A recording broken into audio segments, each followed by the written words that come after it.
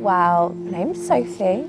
Um, I like to go by Sophie Jay um, for my work because um, it is so like family based.